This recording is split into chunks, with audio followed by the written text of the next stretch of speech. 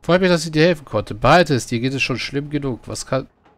Was mehr kannst du mir dir nicht leisten, nachdem ich deine Familie gerettet habe? Nein, behalte es. Du hast eine edelmütige Seele, Freund, und wir werden es dir danken müssen, dass wir es durch das kommende Jahr schaffen. Dir danken müssen. Sichere Reisen mögest du in der Gunst der... Mögest du die Gunst der Götter finden. So, wir haben Cordes Breite abgeschlossen. Ich überzeugte Sveno, den Müller und seine Familie in Ruhe zu lassen. Sveno und sein Kumpan schienen diesem Ausgang der Dinge eher enttäuscht zu sein, aber der Müller war erleichtert, seine Familie Sicherheit zu wissen. Jo. I'm here. Lieber mehr Ruf bei Goldtal.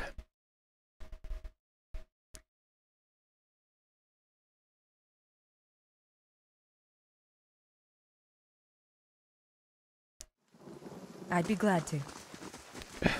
Und dann noch hier rein.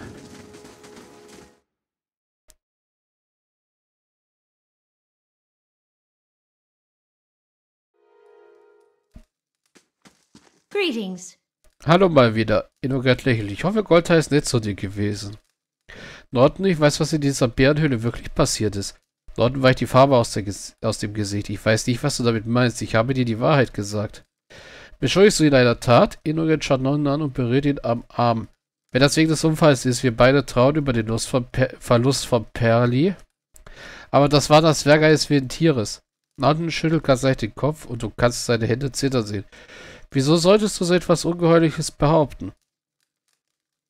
Ich hatte in der Höhle eine Vision. Ich sah die letzten Augenblicke in Perils Leben, so wie er sie erlebte. Ich sah, wie du ihn mit dem Messer niedergestreckt hast.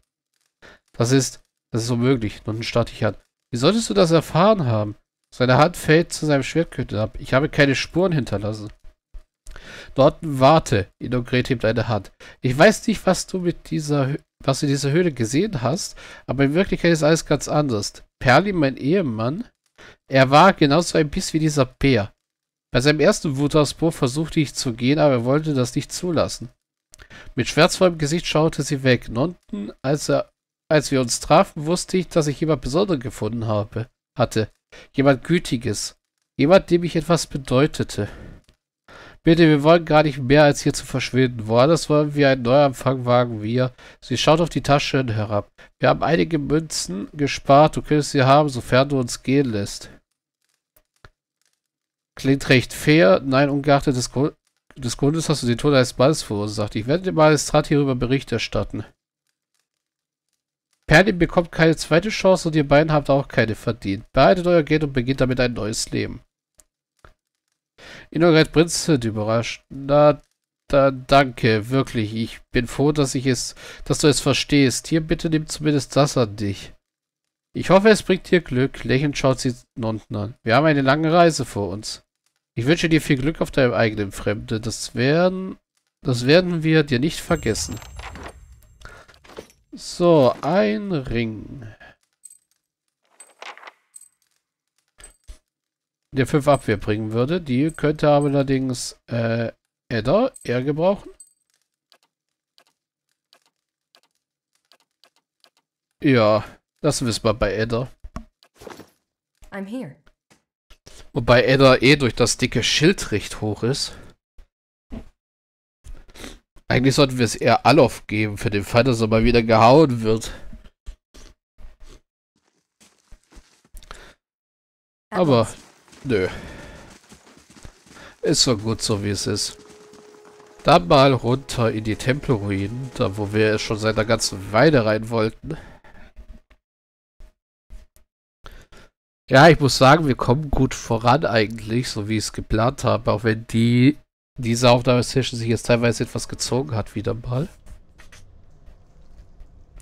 I haven't been in here for must be five, six years. Used to be real nice, bright, warm. Bin schon seit gut fünf, sechs Jahren nicht mehr hier gewesen. War mal richtig schön hier, hell und warm. Die aufsteigende Sonne und die drei Dämmerungssterne, das Symbol von Erotas. Elendige Biester. Wer bist du? Gegen die Wand gelehnt liegt im matten Licht der ausgehenden Wandleuchter ein Mann am Boden. Er hatte etwas hageres, fuchsartiges an sich und sein bleches Gesicht ist schweißnass. Der Ärmel des einen Arms, den er locker gegen die Seite hält, ist blutdurchtränkt. Als du dich ihm näherst, wirft er dir ein schmerzverzerrtes Gesicht, einem ängstlichen Blick zu. Mit schmerzverzerrtem Gesicht. Sieh dich vor, falls du hineingehen willst. Er wirft einen schnellen Blick auf die Tür zu seiner Linken. Dieser Ort ist nicht ganz so leer, wie ich angenommen hatte. Er schaut Edda von unten an. Sollst du deinen Respekt, Eotasir? Er bringt ein schmerzverzerrtes Grinsen zustande. Ist das nicht ein bisschen riskant? Überleg dir nur, was die Dörfler sagen würden.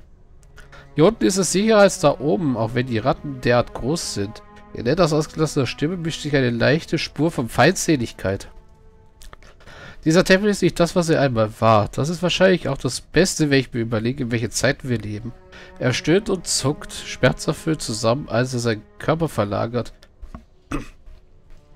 Ich bin nicht zum Blöder gekommen, falls du das vermutest, und so einer wie er hier auch nicht. Wird dann reißt sein Kind in Richtung Edda. Ich glaube, ich wollte einfach nur Gutes tun, und was hat mir das eingebracht? Einen zerkratzten Arm. Er sieht dich müde an. Vielleicht hast du ja mehr Glück. Was ist dir passiert? Ich versuchte den Spinnen auszuweichen, er stößt ein letztes Lachen aus. Auf, bin auf einen Skulder gestoßen. Vielleicht wäre es mir etwas besser ergangen, wenn mir das Biest das Schwert nicht aus der Hand geschlagen hätte. Eine gute Klinge noch dazu. Wahrscheinlich liegt sie noch immer im Staub. Er lächelt müde. Bin ich aber nicht, also ist das schon in Ordnung. Ist keine schlimme Wunde, glaub mir, tut nur weh. Ich könnte dein Schwert für dich holen. Das ist aber nett von dir, aber das muss nicht sein. Es ist mir gar nicht gut bekommen. Sollst du es aber finden, kannst du es gerne behalten. Wenn du mir etwas noch Wichtigeres besorgst, ist das sogar noch mehr, ist sogar noch mehr für dich drin. Mit so einem verletzten Arm, ich könnte deine Hilfe gebrauchen. Der Mann deutet mit, mit einem Finger nach oben. Diese Ruinen um uns herum, früher waren sie ein Tempel von Eotas, dem zersplitterten Gott. Ein großer Tempel noch dazu. Aus dem ganzen Dürrwald strömten die Gläubigen hierher, selbst aus Viserys. Heutzutage kommen aus Viserys nicht mehr viele Leute. Natürlich nur bis zum Krieg und selbst dann kamen immer noch ein paar Sturköpfe, die es einfach nicht in den Schäden bekamen, dass sie Gott und der Vergangenheit angehörte. Red weiter, worauf willst du hinaus? Ist das wirklich der richtige Augenblick für eine Geschichtsstunde? Fürst Redrick hat ihnen das Beten gestattet. Aber und dann ließ Fürst Redrick diesen Säubern ein paar Leute verhaften. Erst seit dem Vermächtnis begann er, äh, seine Geduld zu verlieren. Er schickte seine Wache los, um die Priester dem Schwerte zuzuführen, den Tempel einzureißen und einige der Bücher zu verbrennen. Das war's dann. Er schaute weg. Red weiter. Als das Vermächtnis anfing, beschloss Fürst, Redrick, beschloss Fürst Redrick, dass er den Iltasianern gegenüber zur Mede gestimmt war. Er hat sie von seinen Leuten allesamt im Tempel niedermachen und sie da unten unter einem Haufen Felsen begraben liegen lassen. Danach ordnete Redrick die Versiedlung des Tempels an. Jahrelang ist es so gewesen, bis vor kurzem. Fürst Redrick hofft, dass man durch die Zerstörung des Tempels eines lebenden, äh, eines lebenden Gottes verge dass man durch die Zerstörung des Tempels eines lebenden Gottes vergeben wird. Und damit wird auch das Vermächtnis in, verstehst du? Ich glaube, hier ist jetzt was falsch übersetzt worden. Ich glaube, durch die Weihung eines äh, lebenden, des Tempels eines lebenden Gottes, nicht die Zerstörung. Weil eigentlich geht es ja darum, dass der Tempel jetzt äh, Berat geweiht werden soll. Bis dahin wird der Tempel aber so bleiben, wie du ihn jetzt siehst umgewacht und dann genau kommst du ins Spiel. Witter leckt sich über die Lippen. Diese Priester, gut, sie mögen ja kaum Grips im Schädel gehabt haben, aber solche Tote hatten sie auch nicht verdient. Im Hause ihres Gottes niedergemetzelt zu werden, also wirklich, das finde ich einfach nicht richtig. Wenn du dort hinuntergehst und ihre sterblichen Überreste finden könntest, dann könnten wir ihnen endlich ein ordentliches Begräbnis verschaffen. Wirtan atmet aus. Keine leichte Aufgabe. Du könntest auch ein paar Münzen verdienen, solltest du noch eine Motivation brauchen. Alaus verhaltener Gesichtsausdruck wird etwas weicher. Was für eine angenehme Überraschung, dass es noch jemand mit einer Spur Respekt für die Toten gibt. Ich werde sie finden. So wie ich das sehe, solltest du eigentlich nicht hier drin sein. Sie sind schon lange tot. Welche Rolle spielt das noch, wo sie begraben sind? Moment mal, du willst, dass ich ein paar, dir ein paar alte Skelette bringe? Zuerst hätte ich noch einige Fragen. So wie ich es sehe, solltest du nicht hier drin sein. Wird dann nachdüster. Naja, ich wollte eigentlich ganz schnell und flink hinein und wieder hinaus. Ich füge niemanden Schaden zu. Aber Fürst Rennig hat allem verboten, irgendetwas mit dem zersplitterten Gott zu tun zu haben. Ja, das zu erklären wäre ein bisschen schwieriger als bei dir. Es ist doch aber eine gute Sache, oder? Außerdem wirst du dir aber auch noch etwas verdienen. Erst habe ich noch ein paar Fragen. Ja? Warum kannst du das nicht selber machen, weil er verletzt ist? Naja, ich habe es versucht. Ich war noch, nie, noch gar nicht weit drin, als ich der Sache schon nicht mehr gewachsen war. Wirtan zieht eine Grimasse. Ich habe schon lange keine Klinge mehr zum Kampf erhoben. Wie sich herausgestellt hat, kann man das auch durchaus verlernen. Du aber siehst so aus, als könntest du dich deiner Haut erwehren. Und wer bist du überhaupt? Wirtan grinst sich schwach an. Wirtan heiße ich. Ich habe lange genug in Goldtal gelebt, um mich daran erinnern zu können, wie prachtvoll es einst gewesen ist. Er zog mit den Achseln und schaut weg. Ich half manchmal beim Tempel aus. Ich brachte ihnen Vorräte, das ist alles. Hat fürs Frederik nicht jetzt was dagegen, wenn wir da unten herumgraben? Ich würde ihm jedenfalls nichts davon erzählen. An diesem Ort zu verweilen ist für niemanden gut. Wenn du deine Aufgabe schnell und leise erledigst, könnten wir diesen Priestern ohne großes Theater Gerechtigkeit widerfahren lassen. Was ist dieses Vermächtnis? Hat dir der Magistrat das nicht gesagt? Der Dürrwart wird für die Ermordung von Eotas bestraft oder aber, je nachdem, welchem Idiot man glaubt, dafür, dass wir seine Anhänger nicht gleich auch ins Jenseits befördert haben. Wie auch immer, hier werden nicht mehr sehr viel, nicht sehr viele normale Kinder geboren.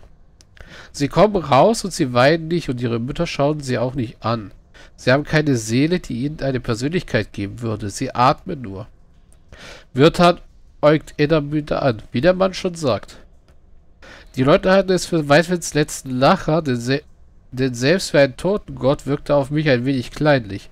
Er lächelt schwach. Fürst Reddick aber glaubt es nur... Glaubt... Fürst Reddick aber glaubt es, nur darauf kommt es an. Ist es möglich, dass dort noch etwas liegt, das ein bisschen wertvoller als ein paar alte Knochen ist? Nein, das frage ich nicht. Ich habe keine weiteren Fragen. Also, was sagst du? Ich werde sie finden. Da scheue ich dir wirklich was bei der Flamme. Aber pass auf, da der Tempel schon lange versiegelt ist, wimmelt es jetzt da drin nur so von Kreaturen. Sollst du aber an ihm vorbeikommen, so findest du die Priester im unteren Kellengeschoss. Wenn sie noch da sind, dann dort. Diese Priester hatten allerlei Geheimkammern. Schalter in den Wänden, präparierte Wandlöcher, solche Sachen. Halte die Augen offen und pass da unten auf dich auf. Ich würde nur ungern jemanden hinunterschicken, um deine Überreste aufzusammeln. Ich werde hier bei den Stufen warten und Ausschau halten. Vielleicht werde ich auch versuchen, mich ein bisschen zusammenzuflicken. I'm here. Ja, begrabene Geheimnisse. Fürst Frederik hat beschlossen, den verlassenen Eotas-Tempel in Goldtal einer neuen Gottheit zu weihen. Der Tempeleingang wurde geöffnet, wodurch der Tempel zum ersten Mal seit vielen Jahren zugänglich gemacht wurde. Im Tempel traf ich auf einen Mann namens Wirta, der mir mich gebeten hat, die Ruinen nach den Überresten von Eotas Priester zu durchsuchen, die Redrings Wachen angeblich vor vielen Jahren abgeschlachtet haben. Wirtan erwähnte, dass der Tempel voller Geheimkammern sei und dass ich die sterblichen Überreste wahrscheinlich im unteren Kellergeschoss des Tempels finden würde. Wirtan wartete mich aber auch, dass der Tempel von Spin und Skuldor heimgesucht wird. Ja. I shall be discreet. Da wir hier in einem Tempel-Dungeon sind. Ja!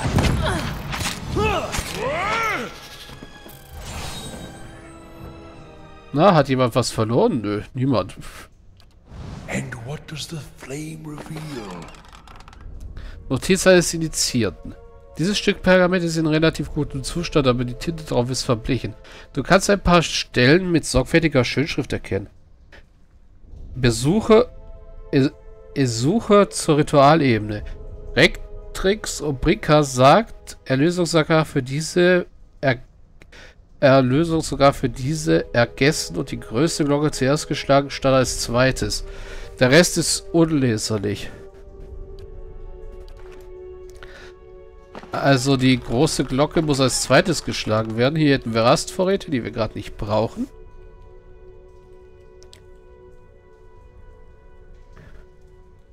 So, da gehen wir jetzt erstmal hier unten lang. Hier ist nämlich noch mehr Spinnenzeug.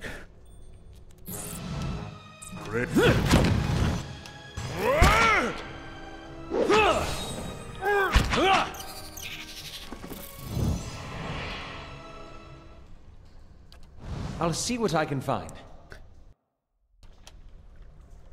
Noch eine Elfenbeinspinne. Diese Möbelhaufen zeugt von Brandspuren. Oh, Kada wird angegriffen, das ist nicht so gut.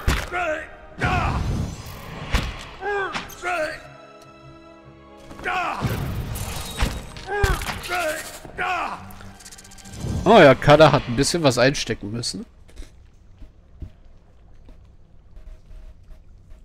Hat 30 Leben, er hat schon 30 Lebenspunkte verloren dadurch. Wer auch immer hier saß, ist hastig aufgebrochen. Die über die ganze Schriftrolle geschilderte Titel macht ihren Inhalt unlesbar. Ja, hier haben wir eine Tür zum Öffnen, eine Geheimtür, die uns tiefer in den Tempel reinführen würde. Die brauchen wir aber erstmal noch nicht, die Geheimtür. Die können wir eher als Ausweg benutzen. Ein Brief nach Hause. Mutter, ich habe Bruder Edric gebeten, mir diesen Brief, dir diesen Brief zu überbringen, da er am nächsten Morgen nach Neu-Heoma reisen wird. Ich gebe ihm alle Münzen mit, die ich habe, und ich hoffe, dass die Überraschung einer unerwarteten Heimkehr, dass dies die Überraschung einer unerwarteten Heimkehr mildern werden. Ich beabsichtige nämlich in wenigen Tagen zu folgen. In unserem Dorf hat sich viel verändert und obwohl ich nicht möchte, dass du dich sorgst, muss ich doch sagen, dass, ich, dass es nicht sicher wäre, hier zu bleiben. Ich weiß, dass Rick, Trix und Brika nicht zustimmen wird, aber der Brief endet hier. Wahrscheinlich hat er den genau an dem Abend geschrieben, wo Redricks Leute hier eingedrungen sind. Und das war dann wohl sein Ende.